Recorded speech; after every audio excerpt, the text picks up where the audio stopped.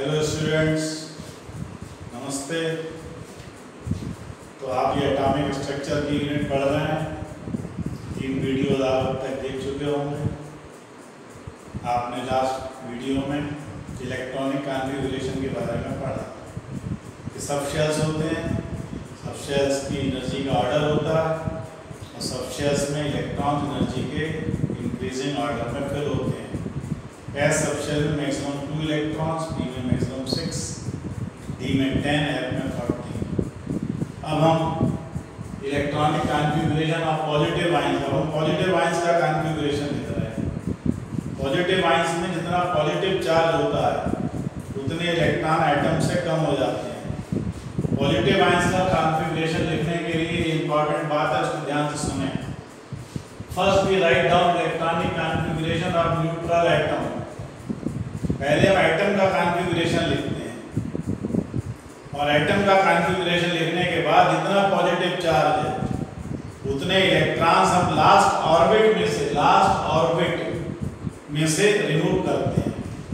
जैसे for example atomic number of Fe26 है।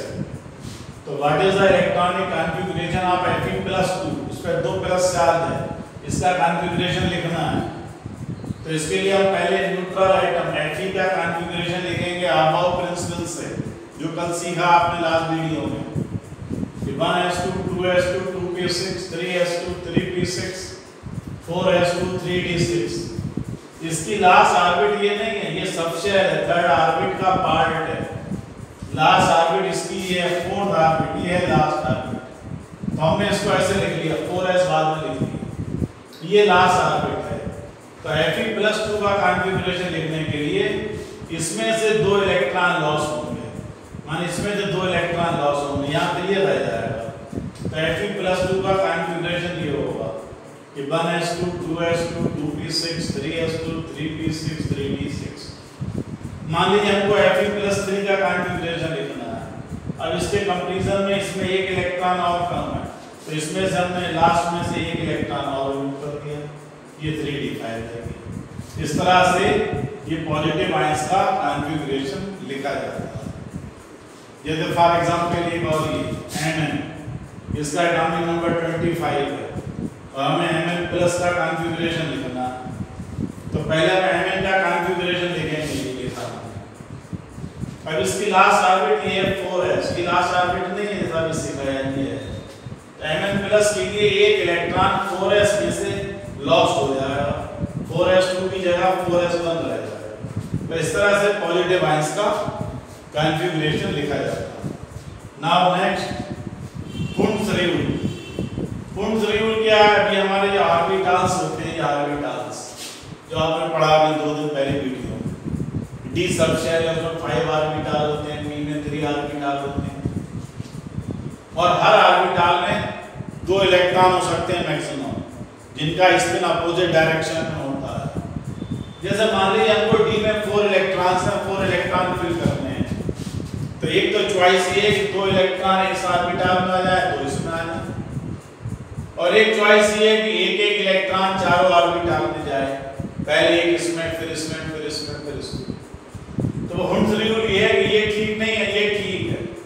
ये हुंस रूल क्या है? जैसे आपके घर में मान लीजिए फाइव रूम्स हैं। और आपके यहाँ कोई फ़ंक्शन है, आपने मेहमानों को इनवाइट किया है, आपने दस मेहमानों को इनवाइट किया है। लेकिन आपको पता नहीं कितने मेहमान आएँगे। पता नहीं चार मेहमान आए, होता पाँच आए, होता छः आए। हमारी कोशिश ये है कि हम मेहमानों को ज़्यादा से ज़्यादा जो है सुविधा उपलब्ध कराएँ। हम उनको अलग अलग कमरों में रखें जिससे उनको ज़्यादा आराम मिले। तो हमारे पास पहले एक मेहमान आया तो हमने उसको इस कमरे में रख दिया। दूसरा मेहमान आया उसको हमने इस कमरे में रख दिया थर्ड मेहमान आया हमने उसको इस कमरे में रख दिया फोर्थ मेहमान आया, हमने इस कमरे में रख दिया ये नहीं कि हमने दो मेहमान यहाँ रख दिए, दो यहाँ रख दिए, बाई कमरे खाली।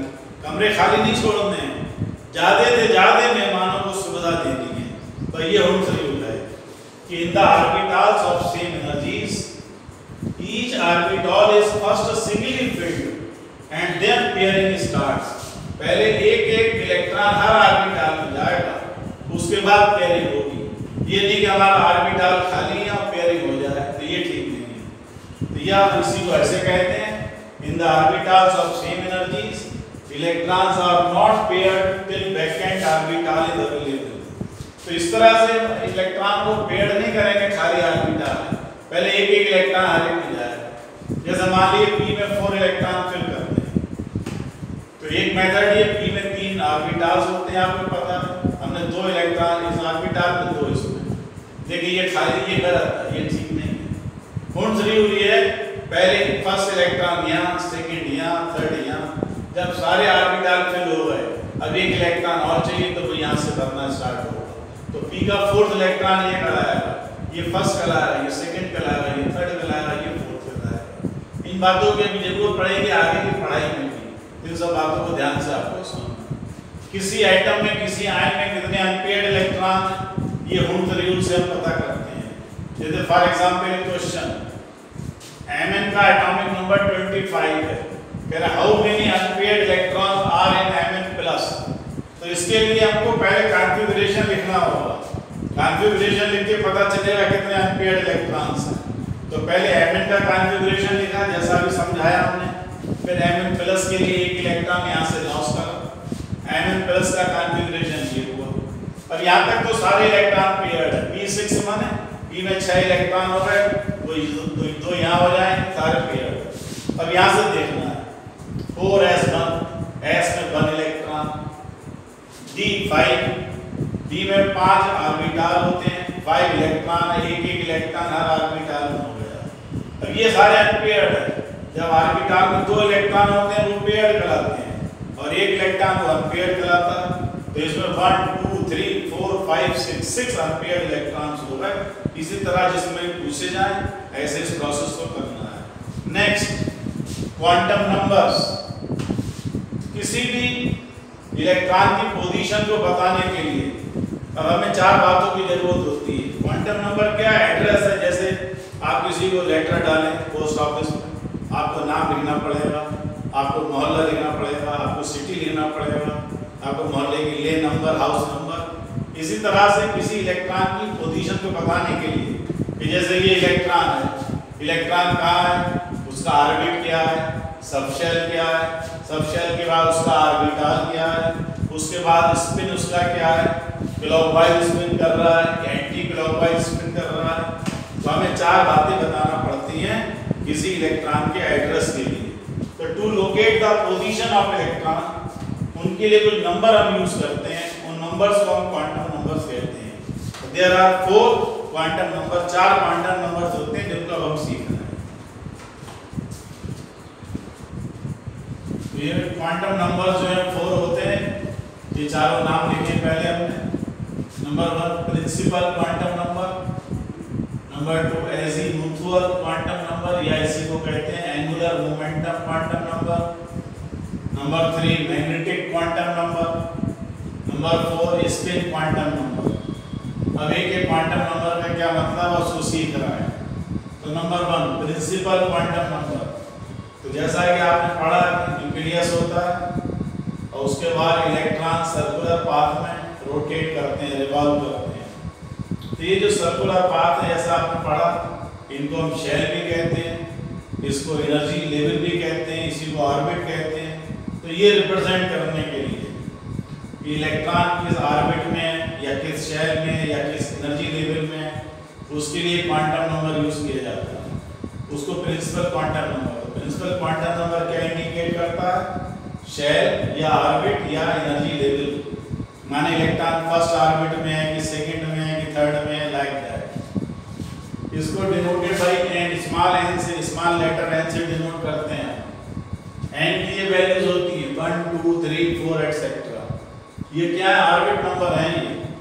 अगर इलेक्ट्रॉन फ़र्स्ट ऑर्बिट में तो is equal to 1 principal quantum number 1 अगर इलेक्ट्रॉन सेकंड ऑर्बिट में है then principal quantum number n is equal to 2 and so on.